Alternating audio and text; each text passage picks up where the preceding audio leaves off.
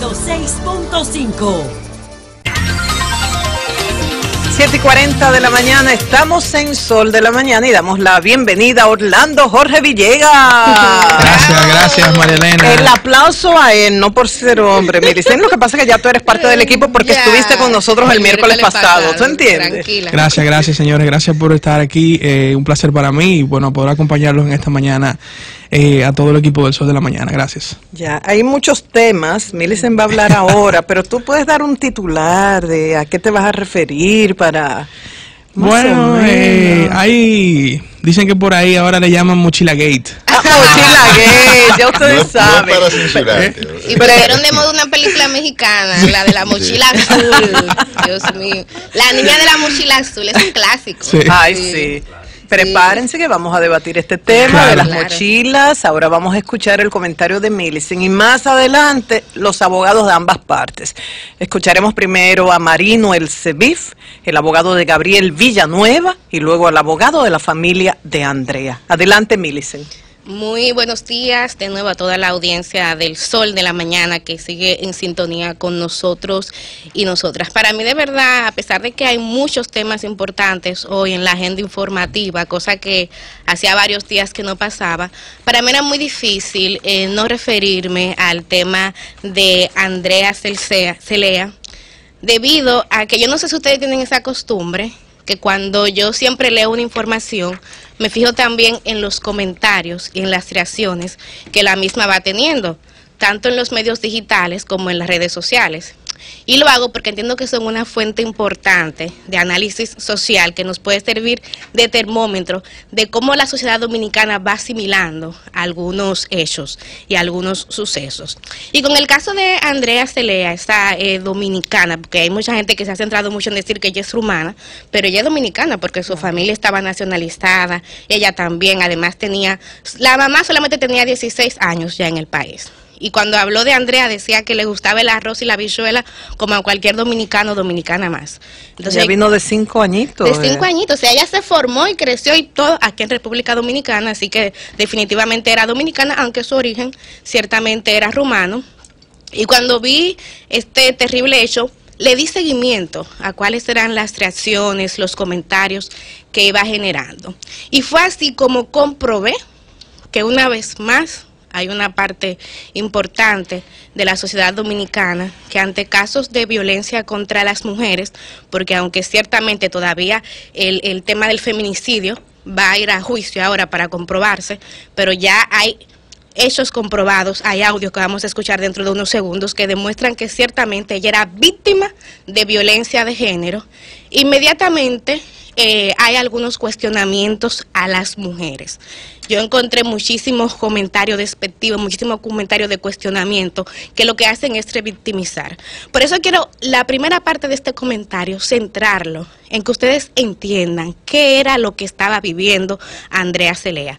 Vamos a escuchar, Yoba, algunos de los audios que ella misma habría mandado a algunos amigos y amigas. la vez que me dio la golpea muy, muy mal, a los par de días de eso, nosotros tuvimos que salir a buscar algo, no me acuerdo qué era, pero yo sé que era importante. Y uno de los vecinos parece que estaba como pendiente y me tiró una foto, men, y se veía así como que mi cuerpo, o sea, yo tenía como unos chores y un tichel. Y con eso todos los vecinos le pusieron una denuncia por violencia contra la mujer. O sea, los vecinos de ese edificio no querían saber del loco. No querían, o sea, lo odiaban a muerte. men. En una subió, yo me acuerdo que un día subió la, la que era administradora del edificio, lo que comenzó a tocar la puerta durísimo, a decirle un viejo toca la puerta durísimo a decirle un viejo vaina, abusador, abusador, ¿cuándo tú vas a parar? Cuando ya te muerta. Ay, y le pusieron el pilo de vaina, entonces en verdad él tuvo ya par de problemas con policía, men. O sea, aparte de todo lo maldito leo que ha tenido, o sea, lo que es chamaquito es problema por todos lados, men él se salva porque él tiene, su familia tiene mucho dinero. Pero es que coño, men, ese tigre se va preso. Y él me va a mandar a matar. Yo, o sea, te lo juro que yo casi siento eso. Hay que quitar la maldita varilla, la varilla esa donde se pone el, el, el, el, el, la- a donde se cuelga la cortina del baño, la tuve que quitar así de un jalón con todo para abajo, loco. Y entrarle con eso al tipo. Vino con un maldito cuchillo, loco, corriéndome atrás como un loco, como un maldito. Loco, yo tengo un maldito pique ahora mismo. Pero un maldito pique ahora mismo, loco. Me di una maldita patada. Me va a salir un maldito morado en la pierna, loco. Yo te voy a llamar ahora, ¿está bien? Ese era el calvario que vivía Andrea Stelea. Fíjense cómo ya era una violencia tan contundente, tan explícita, que a diferencia de otros casos, ni la familia ni los vecinos podían mantenerse al margen. Fíjense ese episodio que ella narra, que tuvo que subir la administradora del edificio totalmente incómoda, indignada, diciéndole abusador, ¿cuándo tú vas a parar? Cuando la mates. Que sabemos que no siempre esa es la conducta que adquiere la ciudadanía. Sin embargo, en este caso, repito, una violencia tan reiterada, tan contundente, que los vecinos y las vecinas intervenían constantemente. Pero fíjense además cómo ella expresa el temor por su vida. Como decía, yo tengo miedo de que si yo lo meto preso, él me mande a matar. Y eso en República Dominicana no es un hecho aislado, porque aquí sabemos que aquí se han planificado asesinatos desde la misma cárcel. Entonces, de cierta manera, de cierto modo, el temor de Andrea tenía fundamentos. Y repito, hago este comentario porque en las redes sociales hoy día hay varios cuestionamientos a ella diciendo, pero ¿y qué buscaba ella con ese tipo? Pero ¿y qué ella hacía con él en ese hotel si tenía una orden de alejamiento? Preguntándose también que por qué ella insistía en mantenerse esa relación.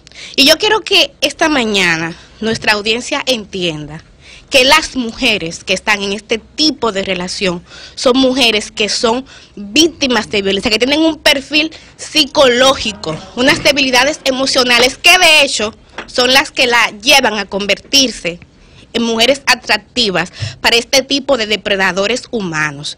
Y hablando científicamente, en el año 1979, una psicóloga estadounidense llamada Leonor Walker describió lo que se llama el ciclo de la violencia. Y quiero compartir con ustedes algunas fases para que entiendan. Y esto válido no solamente para Andrea, válido para muchísimas mujeres que son víctimas de violencia en este país y que cuando los hechos pasan, en vez de como sociedad concentrarnos en lo punible, en el crimen que se cometió, o mejor aún, en lo que debemos hacer como sociedad para evitar que este tipo de hechos se repitan, lo que hacemos es inmediatamente comenzar a cuestionar a las mujeres, ni siquiera al victimario, a las mujeres. Y eso, amigos y amigas de Sol, lo que hace es que revictimiza. Entonces, ¿qué explicaba Leonor? Explicaba que hay un ciclo, que no siempre ese abuso se manifiesta de manera constante o de manera lineal. De hecho, la primera fase, ella la llama una fase de calma.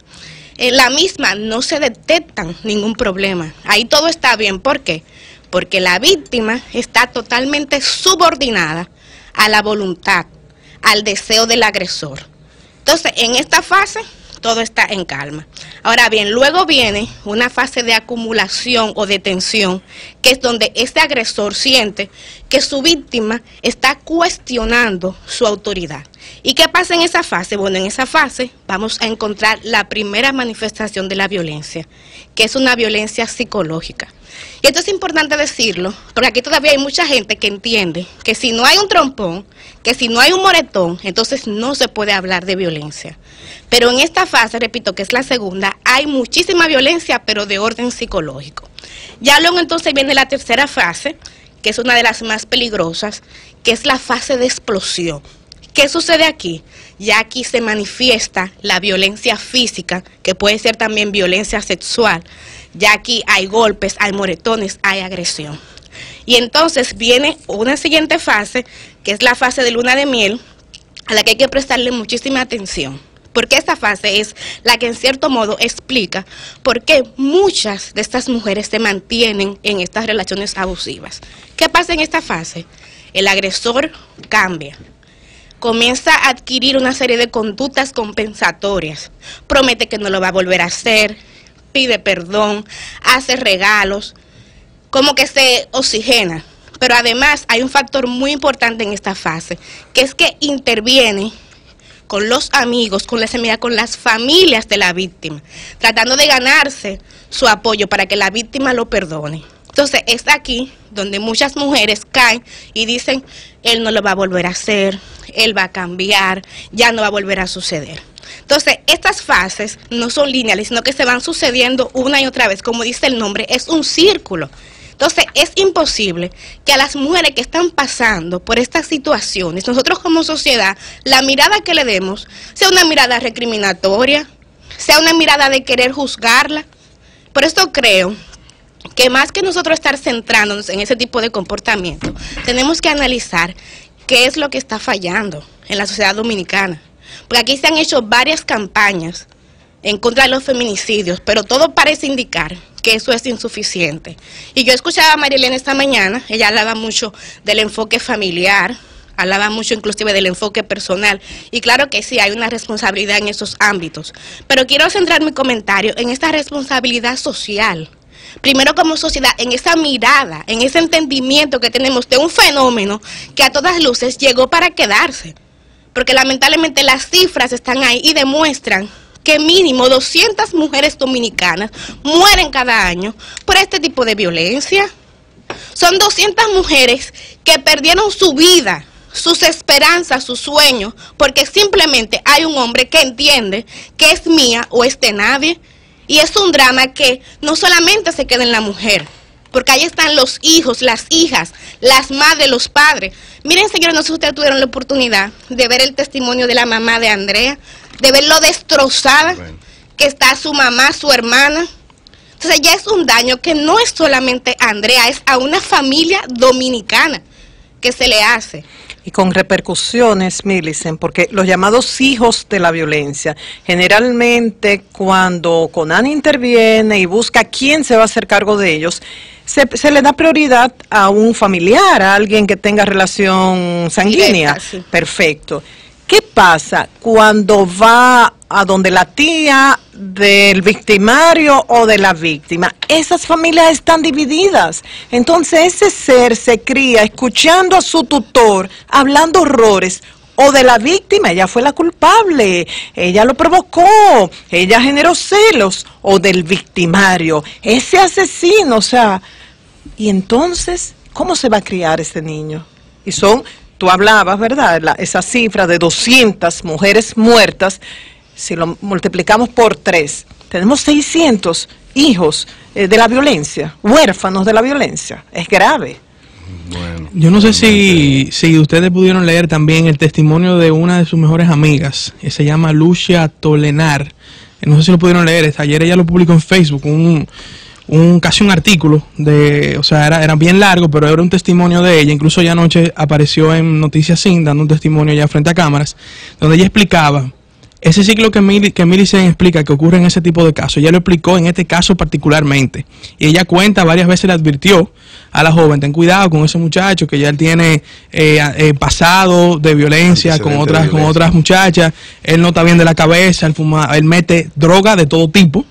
Porque no me mete, o sea, metía droga de todo tipo, ya dijo sustancias eh, eh, que a veces ni aparecen wow. de lo difícil que, que son de encontrar. Y ella hace toda una narración de cómo esa cronología de hechos que culminaron en esta lamentable situación. Ella obviamente no culpa a la amiga. Ella, ella explica incluso factores como lo que Melissa estaba explicando, pero es interesante ese testimonio de ella. Incluso ella menciona el tema familiar, porque ella dice que trabajó con la madre del joven, que es Chantal Onona, todo el que ha visto aquí un Miss República, un Miss, Sabe un quién Miss, es, sabe quién es, porque ella siempre es jurada, y todas esas muchachas van a la clínica de ella a, a tratarse la parte estética. Ella trabajó ahí.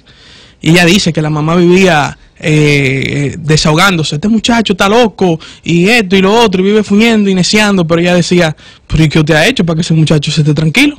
Bueno. Póngalo a estudiar, póngalo a trabajar.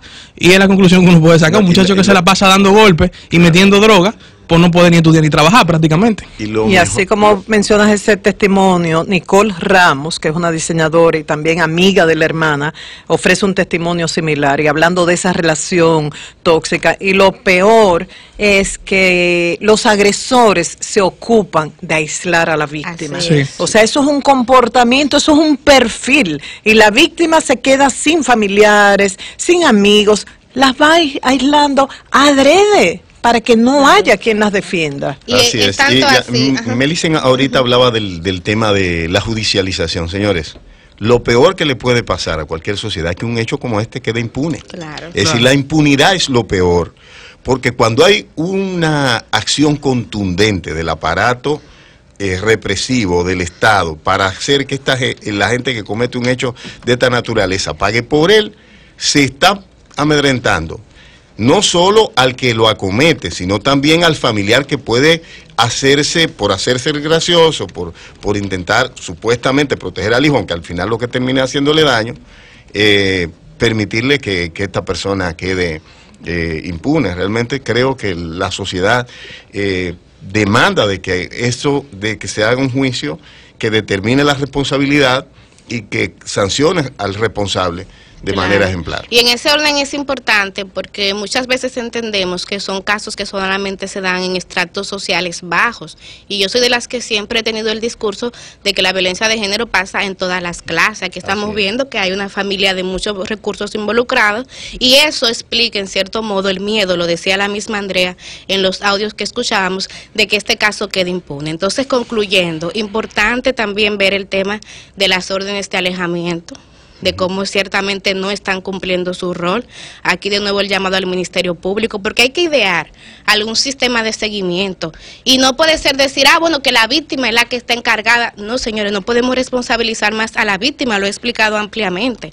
Como Estado, tenemos, el Estado tiene la responsabilidad de idear recursos, mecanismos para proteger a esta mujer que está siendo víctima de esa violencia y que no se encuentre en las condiciones necesarias para siempre alejarse de su víctima entonces, de manera eh, general, creo que como sociedad, a Mauri tenemos que aprender a comprender y a prevenir más y a juzgar menos.